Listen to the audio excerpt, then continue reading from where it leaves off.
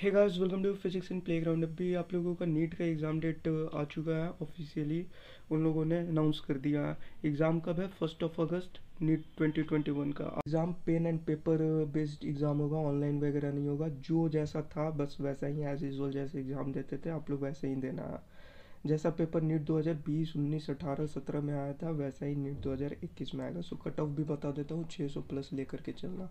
610, 615 total कितने month है आपके पास?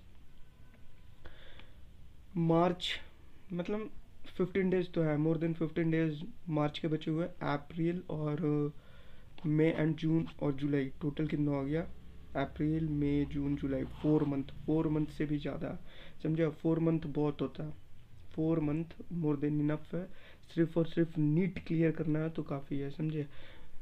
सही तरीक़े से पढ़ना। आप लोगों का फिजिक्स का क्वेश्चन मैं दे चुका हूँ। फिजिक्स का समझो कि बारह क्वेश्चन आप लोगों को मिल चुका है।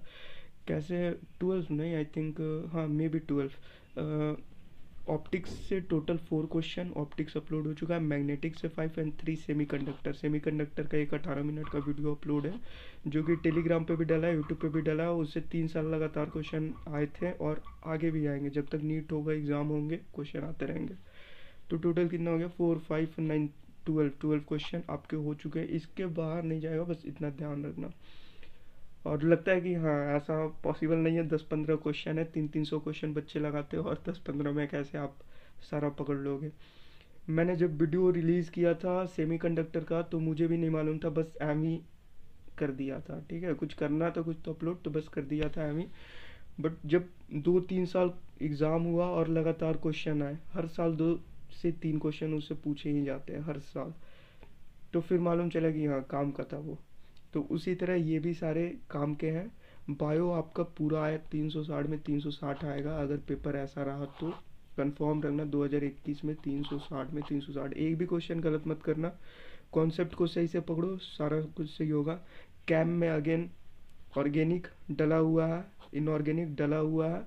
और फ़िज़िकल केमिस्ट्री तो बहुत लड्डू की तरह बना दिया गया है समझे पीआईपी पे जेई मेंस का एक बार पेपर सॉल्व कर लेना और कुछ क्वेश्चन मैंने अपने से डाला है उसे भी सॉल्व कर लेना।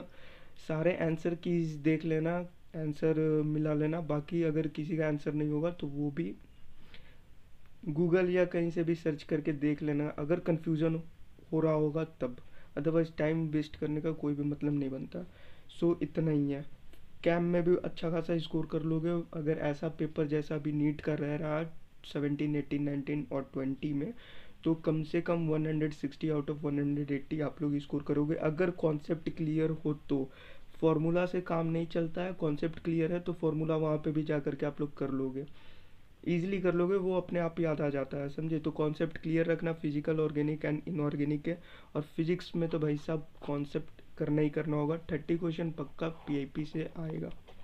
ठीक है स्मार्ट वर्क मेरे ऊपर छोड़ दो हार्ड वर्क आप करो। क्वेश्चन लगाओ, ऐसा ना कि दस पंद्रह के पीछे ही सिर्फ़ रहना। आप लोग कम से कम नहीं भी तो three hundred two four hundred पर टॉपिक क्वेश्चन लगाओ। जैसे इलेक्ट्रोस्टैटिक इस पर आप लोग minimum three hundred question solve करो। जैसे भी कर सकते हो।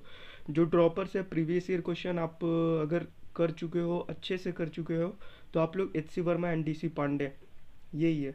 करने के लिए। और जो क्लास इलेवन ट्वेल्थ में है, वो अगर देख रहे हैं तो आप लोग हेलीडे रेसनिक वाकर पढ़ना। समझिए आपके पास टाइम है, पर अभी हेलीडे रेसनिक वाकर पढ़ने का टाइम नहीं है। कॉन्सेप्ट क्लियर करना होगा हेलीडे रेसनिक वाकर पढ़ना। सबसे बेस्ट बुक है। हरीश चंद्र वर्मा सर भी वही पढ़े थे, तभी जा कर के उन्होंने एच सी वर्मा बनाया। वो खुद भी बोलते हैं ऐसा, ठीक है?